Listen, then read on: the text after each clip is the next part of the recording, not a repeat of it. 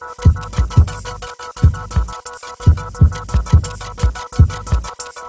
today I'll be going to show you how to install Dolby Atmos uh, zip file on your Android device. In my case, it's the OnePlus 2. Yeah, so go to this site here and, and just press a direct download. Yeah, so as you can see, the uh, download is done now. Open your file manager and trace the file you downloaded right now. Cut this from here and paste it here. So it is easier for you to find it. And now uh, switch off your phone.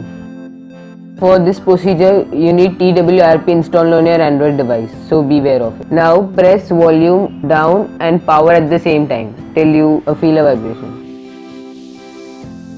Now we are booting up into TWRP. Uh, it's recommended to take a backup if anything goes wrong. So just take a backup. I'll be back after the backup is complete. Uh, yeah, so guys, as you can see, the uh, backup is now complete. And now go to home, click on install and yes so search for the file we just downloaded it will be named as dap underscore r6.5 swipe to confirm the flash yeah so now uh, reboot into system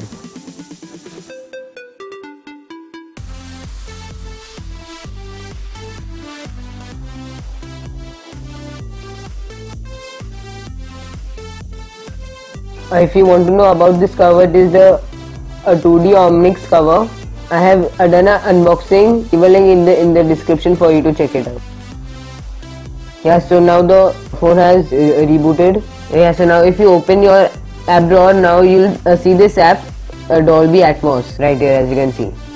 And, and you can enable it here. Uh, this is off right now, and now it is on. Yeah so guys uh, that's it. And now you have dolby atmos on your android smartphone. In this case the oneplus 2 so if you have any doubts or comments leave them in the comment section below. And thank you